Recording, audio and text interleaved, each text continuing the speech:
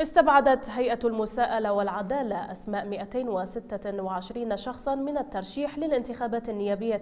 بعد شمولهم بإجراءاتها فيما ذكر مصدر مقرب من عضو مجلس النواب أحمد عبد الله الجبوري أبو مازن أنه سيعود إلى خوض التنافس الانتخابي بقرار قضائي من جانبه دعا رئيس ائتلاف الوطنية أياد علاوي إلى أبعاد ملف الاجتثاث عن الأجندات السياسية المغرضة والمصالح الشخصية موضحا أن الاجتثاث ينبغي أن يكون يكون بيد القضاء